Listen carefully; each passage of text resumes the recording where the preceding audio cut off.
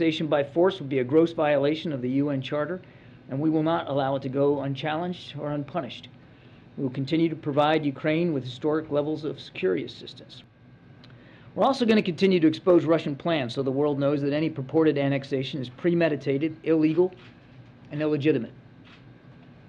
And we are sanctioning the Russian installed puppets and proxies in areas of Ukraine that are under Russian control. The Kremlin has not disclosed a timeline for the referenda, but Russian proxies in these territories claim they will take place later this year, possibly in conjunction with Russia's September regional elections.